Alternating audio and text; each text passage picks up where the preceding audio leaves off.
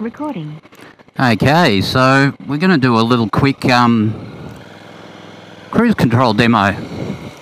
Everyone seems to be keen, keen on finding out about that. So let's just sort ourselves out. Okay, so it's right here. Hopefully you can see that. So it's a little flick of the button to the left and on the dash hopefully we can see that little orange light comes up. And then to set it and we'll just drop back into this lane set it just push forward. It comes up 65 because that's close to where it was. It can drop back. If you can see that drop back. Set at 60 and there we go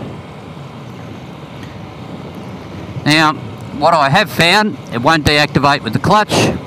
It won't deactivate with the shifter. So you can drop gears.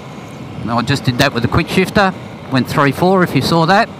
Now the throttle position here feels rather firm. So you can accelerate away and then just let it go and it'll go back to 60 and off we go again.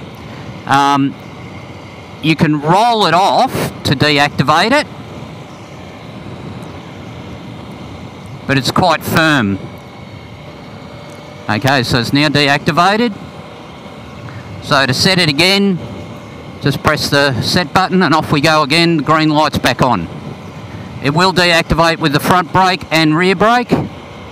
Uh, and one thing I found, if you go beyond the speed for a, about a minute, see it's flashing. So if we wait about a minute,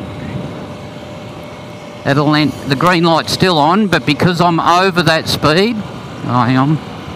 you might have to, oh yeah, might have to be reasonably over it. It's flashing, flashing. It'll end up deactivating. That's what it ends up doing. But it allows you to accelerate and pass people and then roll back on and back it goes to 60. So there we go. And it is fantastic. Because I used to have, uh, well, I've still got my 790, but I've got a throttle lock uh, Omni Cruise on that. This is so much smarter than that. So I'm at 56. Uh, one of the interesting things, you go, does it really launch away? So I'm at 50, and I'm going to reset back to 60. And it's a fairly gentle progression of acceleration. So it's not like your car where it downshifts and zooms off. It does it quite gently here. So there's a lot of smarts going on, I think. Well, a lot of smarts for me anyway. Anyway, that's my little cruise control review. If you want to know more, just uh, like, subscribe, make a comment, do whatever you like. And we'll slow down to the 50k speed limit here. Alright, have a great day. Bye.